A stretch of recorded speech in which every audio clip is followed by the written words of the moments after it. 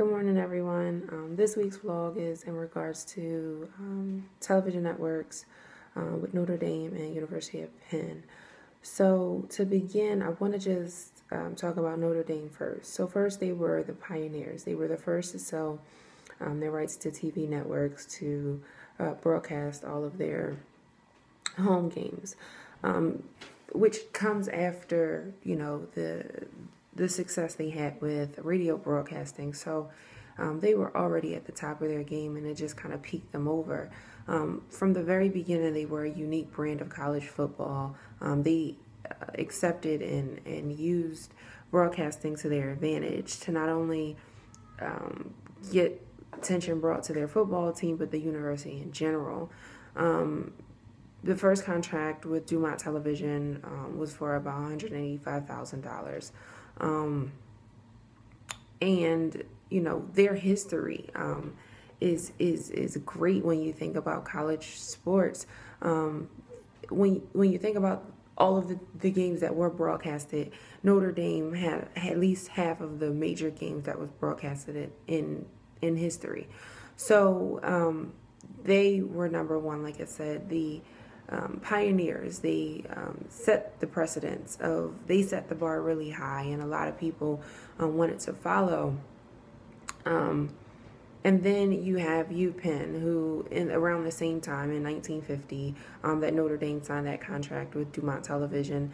Um, the University of Penn sold their home game rights to ABC.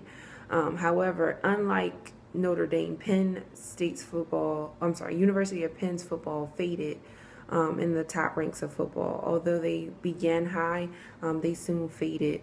Um, and so, amongst the two of them, though, um, other schools were threatened by television. They thought that it would hurt their ticket sales, um, and they, um, which was the main source of revenue at the time, and they wanted to restrict TV coverage. So, out of fear, um, they began to get the NCAA involved, and so the NCAA came in and stronghold um, them by getting out of their contracts with Dumont and um, ABC um, to restrict football or television televised college sports.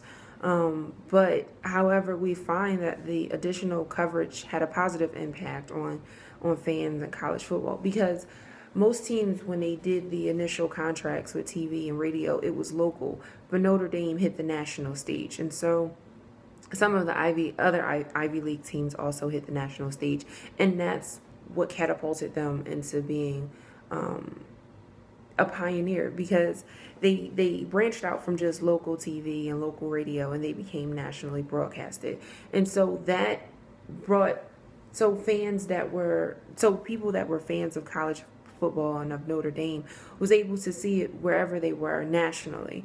Um, and so I think that was the biggest positive because it had a positive impact for fans. Um, television exposure um, helped them recruit even high school students. So when you think about um, Notre Dame program being smaller, they use that television um, to their advantage yet again because if you're a high school student coming out of high school and going to Notre Dame, you're thinking, oh, I'm going to get TV exposure, which means that I'm going to go to the pros. So, more than likely, that again was a positive advantage for them, even though a lot of colleges in the beginning just were too afraid to join these two schools who had set the precedents, um, who raised the bar, who, who had others come to meet them um, in terms of, of adopting television um, and having their teams nationally broadcasted. Um, also, the TV exposure helped them gain a lot of financial backing um, for the university. So when Notre Dame received their money, I think they received about 38 million. Um, they didn't just use it to go to football. They put it back into the budget, into the overall budget for the school.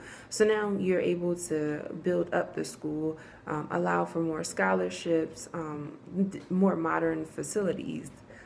Uh, amenities, um, new stadiums, just different things. So, um, television, in my in my opinion, was a great way for them to move from just being locally recognized to being nationally recognized. And I think that was the biggest thing that the other schools were afraid of. They were afraid that being seen on television would hinder their sales, their gate receipts, and people instead of coming to the game um, would actually just stay home and watch TV. But I know myself sometimes watching a game live is way better than watching it on TV.